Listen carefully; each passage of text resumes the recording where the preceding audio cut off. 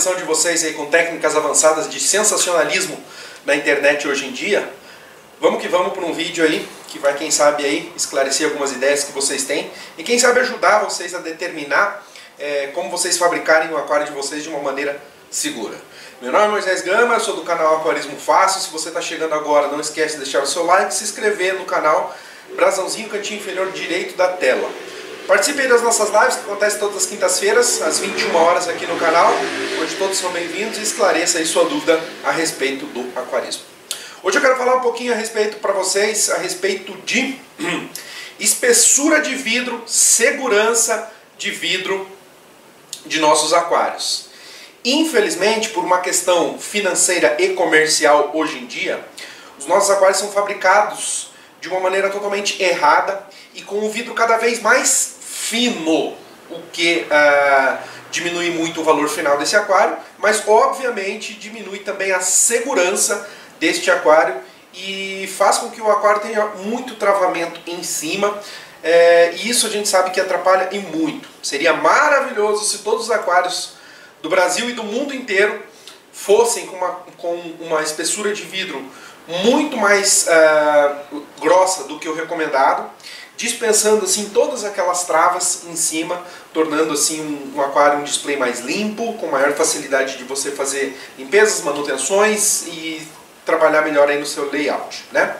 Mas, infelizmente, isso não acontece. Cada vez os aquários são feitos de um vidro mais fino. Para quê? Para que o aquário se torne uh, mais barato e isso lhe torne mais uh, atrativo comercialmente, por assim dizer. Mas existe um grande fator que muitas vezes não é considerado e que pode realmente desgraçar a vida do aquarista, que é o que? Um acidente que esse aquário possa vir a causar.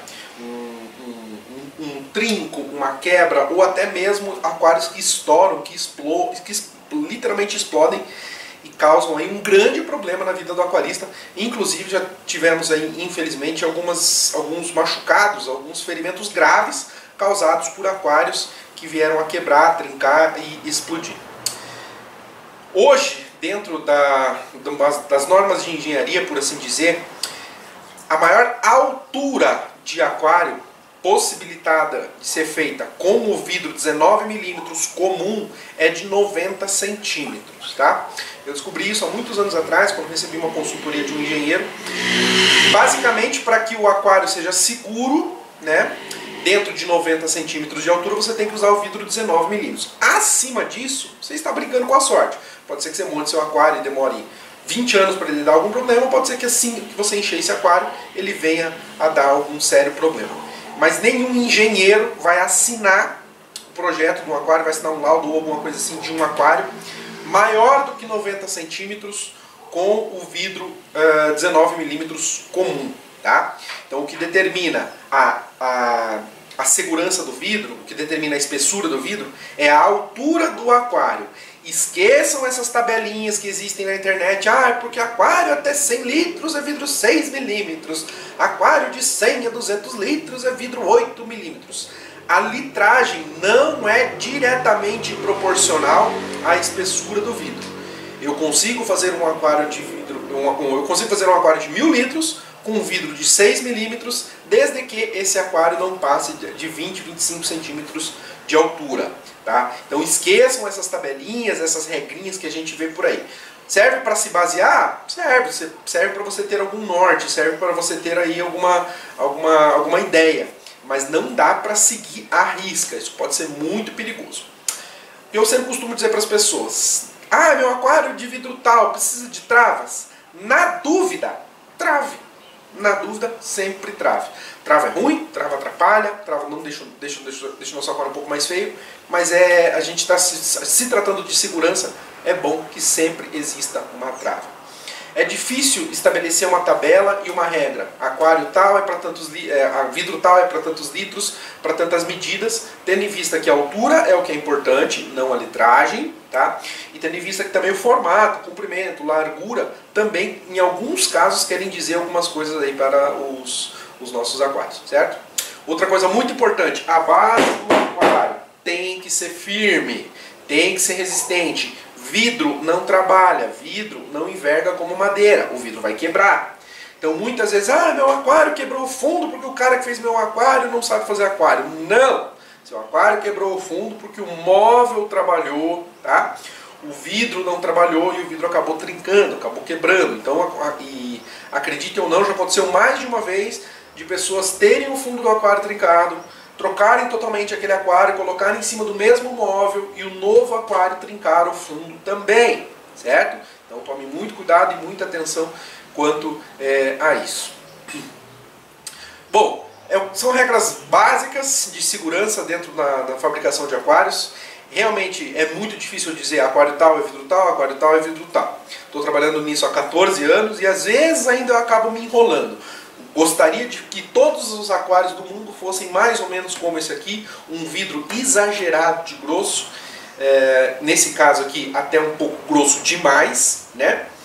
Mas seria ótimo se todo mundo pensasse com a consciência, colocasse a segurança em primeiro lugar e sempre na hora de fabricar o seu vidro, sempre na hora de estar fabricando o seu aquário, uh, estivessem sempre exagerando no quesito segurança, que é uma coisa que infelizmente, devido ao valor financeiro, devido à questão comercial, a gente acaba não tendo, não vendo isso nos aquários de hoje em dia, certo?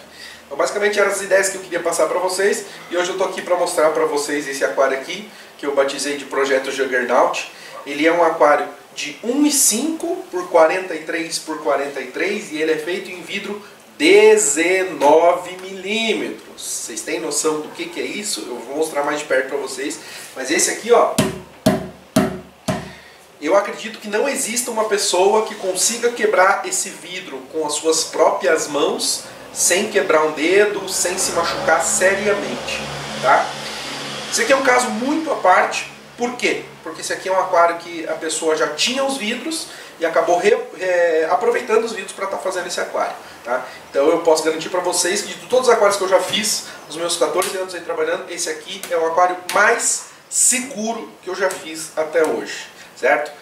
Esse é um caso à parte, esse é um exagero. É um aquário que se fosse feito em vidro 12 milímetros já estaria acima de um grau de segurança, por assim dizer, mas esse aqui é exagerado e esse aqui está do vidro 19 milímetros. Eu vou mostrar esse aquário mais de perto para vocês e espero que o vídeo é, inspire vocês a estarem fabricando o aquário de vocês com um vidro um pouco mais grosso, um pouco mais seguro, porque a gente tem que lembrar que um aquário a gente sempre faz é, pensando em muito tempo.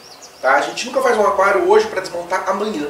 Então, Tendo em vista que se você vai levar muito tempo com aquele aquário, invista em segurança, que é uma das melhores coisas que você acaba fazendo a longo prazo para vocês. Certo? Então vou mostrar esse aquário mais de pertinho para vocês agora. Bom, gente, esses vidros desse aquário eles eram vidros usados, né? Então eles têm alguns risquinhos, algumas marquinhas do tempo, mas nada muito grave, tá? E aqui, ó, é um vidro 19 milímetros, ó, para vocês terem uma noção. É um vidro absurdamente grosso. Claro que esse aquário não precisa de travamento nem em cima nem embaixo. A área de colagem do silicone aqui é muito grande, né? Então ele também não precisa ter silicone excedente. É um exagero, mas é um aquário mais seguro que eu já fabriquei até hoje.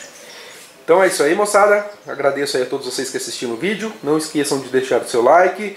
Quem não é inscrito no canal, clica aí, se inscreve no canal, deixa o sininho ativo e participe das nossas lives todas as quintas-feiras a partir das 21 horas. Quem quiser me seguir no Instagram e nas outras redes sociais, arroba Moisés de Gama e um grande abraço a todos.